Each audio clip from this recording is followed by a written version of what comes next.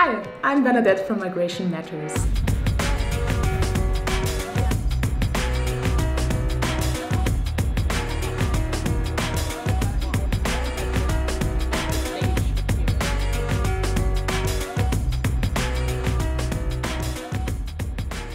If you read the newspaper, it seems to be an inseparable pair. So, irregular migration is basically caused by smugglers, and this means if we would fight smuggling, we could really fight irregular migration.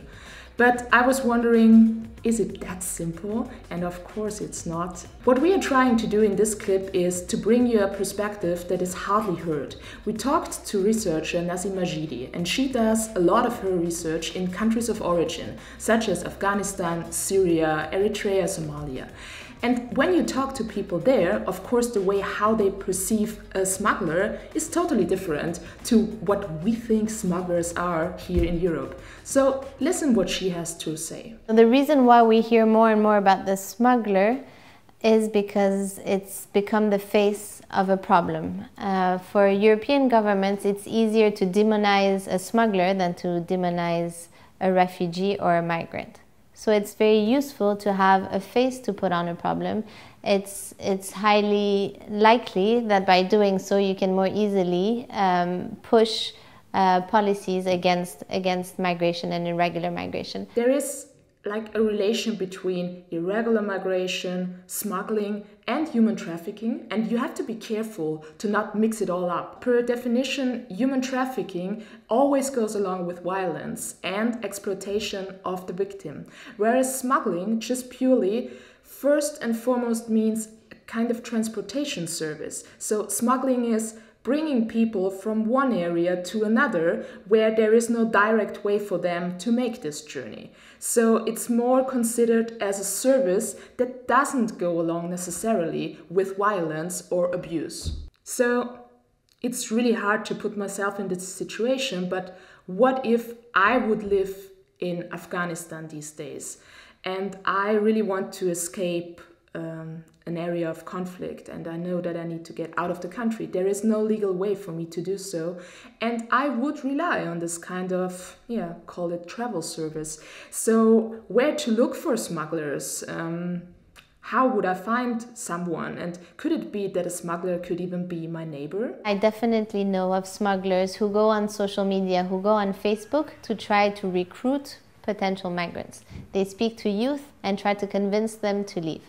So it's true that in some cases they can generate a demand. But beyond what we hear in the media and beyond what we hear from the governments, which is usually that smugglers are criminals, uh, that they're predators, that they're dangerous, that it's like a mafia, what we need to look at is the country of origin perspective. In those countries, um, smuggling is not a big economic or criminal organization. It's not an organized crime. It's actually a social practice. There's a social organization behind smuggling.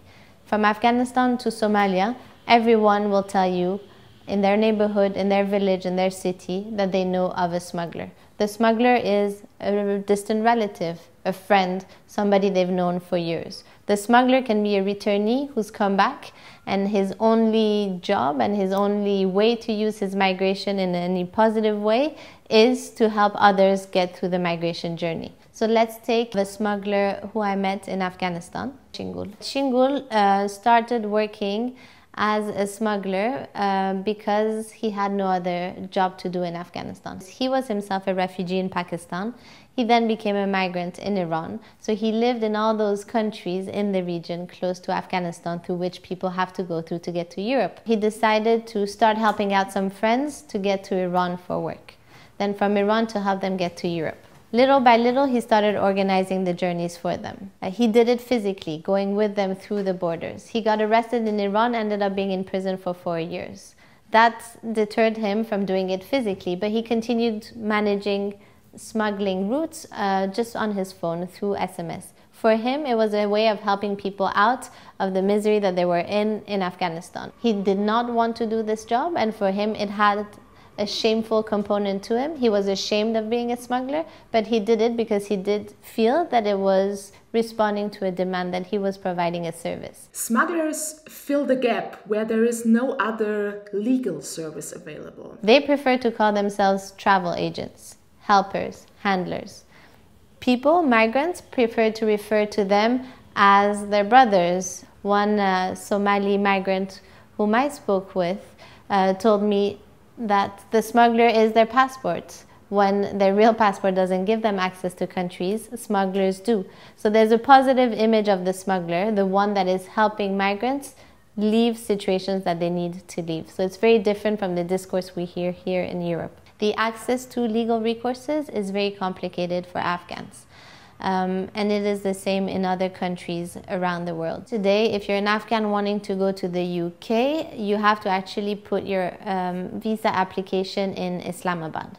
Now, that's a hurdle uh, that's very difficult. You have to go to Pakistan to be able to, to make your demand to go uh, to the UK. So, why not have that legal pathway available in Afghanistan for people to be able to put their visa claims to, uh, to the local consulate. So providing legal ways just means more simply to make visas accessible and demands for visas accessible to all. So actually you have two possibilities. Either you have a passport or you have a guide that brings you from one country to the other as a kind of alternative passport.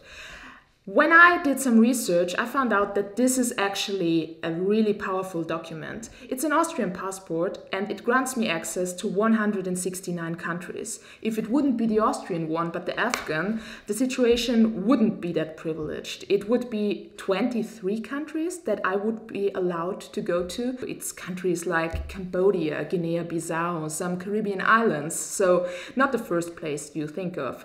And here these guys come in again because because they know which countries to go to. They know where there actually might be perspectives for me as a refugee. The demand for smugglers uh, started increasing as borders were getting tougher to get across. Smugglers are not what is causing migration. What is causing migration in irregular ways is the fact that they have no regular ways to migrate. The reason why migration and smuggling are such an inseparable pair is because we don't talk about legal ways how to escape conflict areas. And obviously, there is no discussion about how accessible or, most importantly, how inaccessible visas are for most of the people in the world. You don't think of that if you live in Germany, for example, but it gets a very crucial fact if you are in Afghanistan and want to leave and can't.